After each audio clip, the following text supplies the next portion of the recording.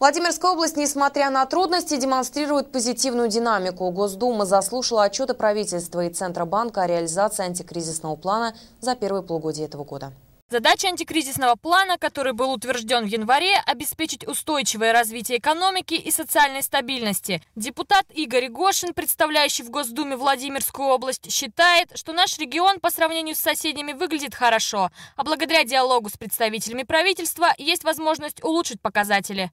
Владимирская область сейчас выглядит очень достойно. Если все окружающие регионы допустили падение промпроизводства, то у нас промпроизводство выросло на 9% сейчас. Это очень серьезный показатель а за последний период.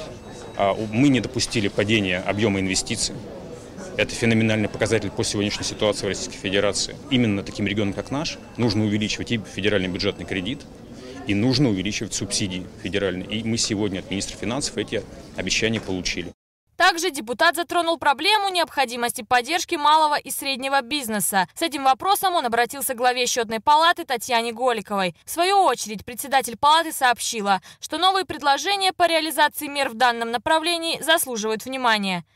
Мы очень рассчитываем, что то решение, которое принято правительством о создании новой структуры Федеральной корпорации среднего и малого бизнеса, и те предложения, которые сейчас этой новой структурой разрабатываются, дадут свой эффект.